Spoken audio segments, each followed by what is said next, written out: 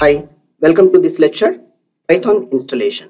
In this session, we will follow step-by-step guidelines how to download and install Python from scratch. Now here about Python, Python is an interpreted high-level general purpose programming language developed by Guido van Rossum in 1991 it has quickly becoming one of the most popular programming language in the world. And as you know that, the trending language, which is the Python nowadays. And Python is having a many advantages in the programming language. Those the that is the way it's a very uh, nowadays it's getting more high and uh, popular in the industry. And here we will see the main pinpoints. Developers can learn it quickly the language which is uh, uh, having without uh, the curly braces and no more syntaxes and very less those the things. And typically involves less code it is. And syntax is very easier to read.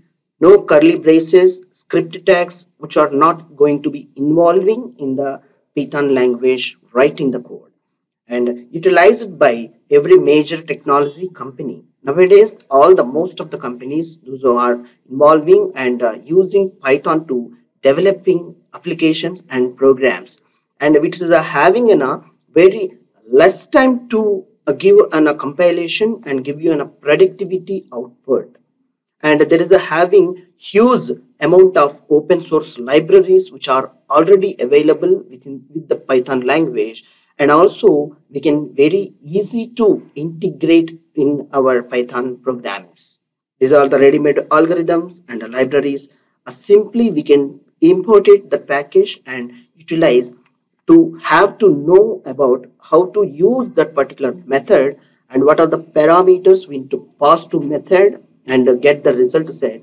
It will be readily available functionality. And now see glance view how to installation of the Python language here and go to Python website of uh, official python.org. Hit open the Google and uh, simply type python.org. Go to here in this site. There is a link called welcome to python.org link. You can click here.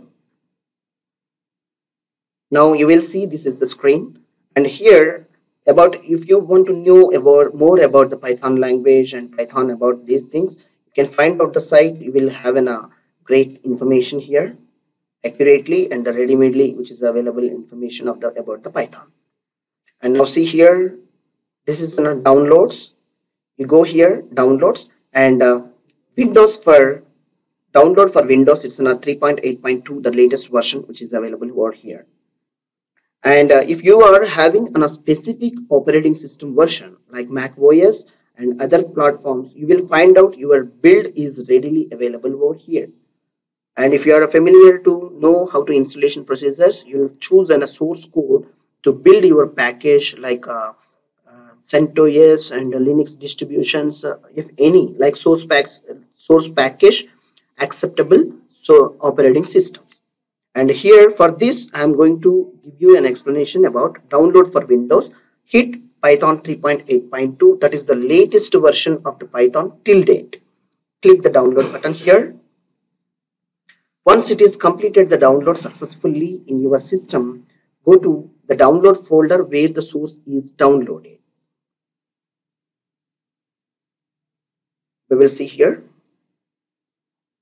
Yeah, now see here the download is completed and open the download source folder where it is your files is saved.